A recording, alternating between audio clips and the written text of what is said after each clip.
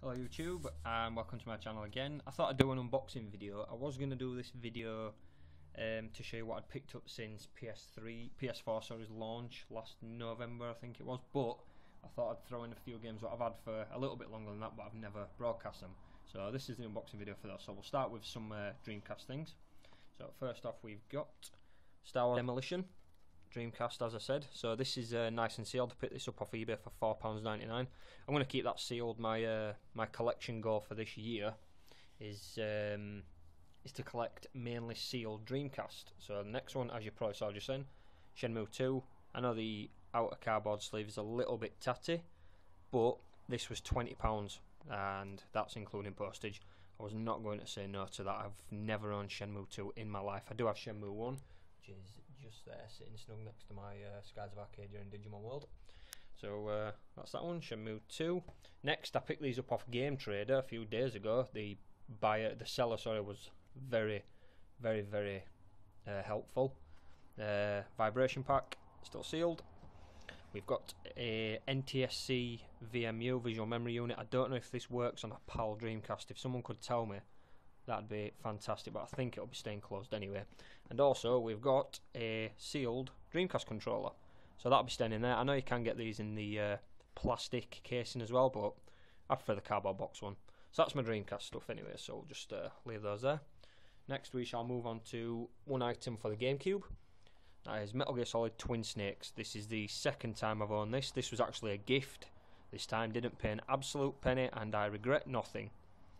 So that's uh, absolutely fantastic. Actually, it might have been a trade for a poster, but either way, it's uh, Twin Snakes. No one's going to say no to that. Like I said, I traded my original one in for the uh, GameCube Game Boy player a while back. Regretted that immensely. Apologies for the shaking on the screen. That's my hands bloody vibrating. There's that one there. Uh, one game for the Wii. Legend of Zelda: Skyward Sword. As you can see, it's still sealed and it's staying sealed. I'm going to put that in the uh, future investments pile, I think. So there's that. I only played a little bit of that game and it's fantastic. Right, we'll move on to the Game Boy stuff. So we'll start with Game Boy Color. I picked up Star Wars Episode 1 Racer. I always wanted to give it a go on the Game Boy Color. I can tell you now, it is a rock hard. And it's not amazing, but it's a nice fun little romp if you want to play on your colour. £8 I paid for that, that's complete as well. Next, I paid £10 for this. Complete. Fantastic condition. I mean, look at that. I mean, there's a little bit of a Bit of tat there, but that's nothing. £10 paid for that. Pokemon Pinball. And the best Game Boy pickup I've got in a long time is Bosch. Pokemon Ruby. I mean, there's a little bit of scratch on this, the uh, front there, but look at the rest of this box and trust me on this, it is immaculate inside. We've got the game, we've got the inserts, we've got the booklets, and I paid £18 for that with £2 postage. That is, that's an amazing buy. Next, I've got a few DS games. Just wanted to buy these because I wanted to play it. We've got Zelda Spirit Tracks, one of my favourite Zelda games. I don't know if a lot of people will agree with me, but I'd like people to agree with me because it's fantastic. Way better than uh, Phantom Hourglass as well, in my opinion. Next one, bargain. Sealed Pokemon White 2 when a local supermarket Morrison's were selling off their stock cheap, £7. That's staying uh, nice and sealed. Next one, Pokemon Y sealed. I paid. I did pay retail for this. I got Pokemon X. I thought I'd buy this at the same time and keep that nice and sealed and play one of them. ended up playing X because my friend was playing Y. So that's that one there. Next one also sealed. Got this for fifteen pounds. Um, the place where I used to work, it was a toy shop. Some gentleman came in wanting to trade this in because he'd been bought a duplicate copy. Um, our store credit was fourteen pounds trade, which is pathetic. I said, You wait right there, I will run to my locker and give you £15 cash right now. He kindly agreed, and that is staying sealed. That can go with my other sealed Zelda. Next, we've got a few PS1 games. Found this in cash converts for 99p, that's complete.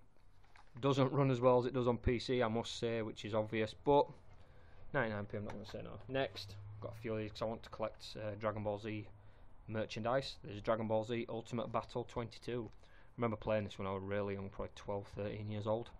It was good back then, but it's probably terrible now compared to Tenkaichi. Next one, Dragon Ball Final Bout. Um, I also got these off Game Trader on Facebook. I paid £10 total for those two, so that's nice. Uh, what should I show you next? I've got a Vita game. Got it because it were a fiver at game. Virtua Tennis 4. I watch a little bit of tennis. I mean, I'm not, I'm no fan by any means, but Um, for a fiver, graphically it's really pretty on Vita. Nice easy trophies to collect, so I always like that. Next one, um, one of my newer purchases, PS3 Final Fantasy X slash 10.2 HD remaster. Now I'm a massive, massive Final Fantasy fan. FF10 is in the top three of mine. Uh, just behind FF12 and in front or well no actually behind FF12 and behind FF7 yeah probably goes 12 7 10 9 probably in that order yeah it looks absolutely beautiful. This is the standard a HD remake needs to be and I said exactly the same when I got the Metal Gear Solid HD this looks even better than that. It's fan fucking tastic. Never enjoyed FF10 too but I'm going to give it a go this time. Move on to some more PS3 I had to get Battlefield 4, you love it or you hate it. If you play online shooters, you're either COD or you Battlefield, or like a normal person, you could play both and not bitch about it. Battlefield 4 is broken to hell. Bought it on PS3, thought it would, uh, it was just no upgrade to number 3. Um, and then used the uh, £9.99 upgrade voucher to PS4, if you can see that without my hands Parkinson in everywhere. But yeah, um, saved me a bit of money in that sense. I do play Battlefield 4 a lot on PS4, probably racked about 55 to 60 hours on it so far. Um, yeah, looks really nice on PS4 if we're honest. Got a lot of friends who enjoy it, so could not go without that. Next, this is still sealed, but I am going to be busting it open because it's really cheap, and despite what people say, it is a really good game. Uh, Brink by Bethesda got absolutely panned by reviewers, critics, whatever.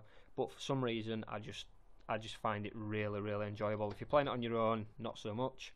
If you've got a team of two or three mates, it is absolutely fantastic um, how it runs.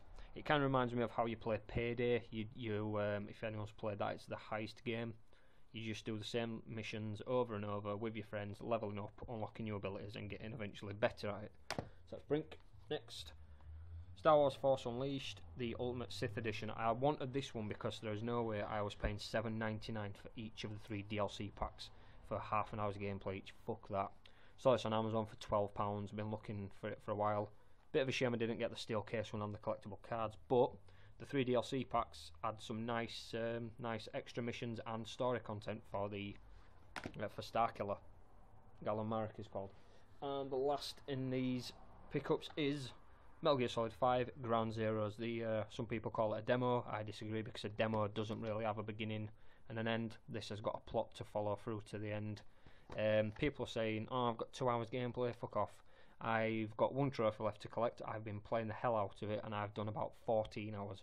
So for 24.99, 14 hours worth on a Metal Gear game, that's the length of a Metal Gear game normally anyway, and you pay 40. So I don't know why people bitch about it. Just if you're a Metal Gear fan, just fucking buy it and yeah, cry about it later, which I guarantee you won't. Graphically, it is out of this world. It looks absolutely fantastic. Runs on the Fox engine, which obviously is now going to be the new standard for graphics. Final Fantasy and Metal Gear Solid always have the best graphics on on console games without a doubt. People can disagree, but it's absolutely true. Um, a few what are actually standing out now though, uh, The Last of Us.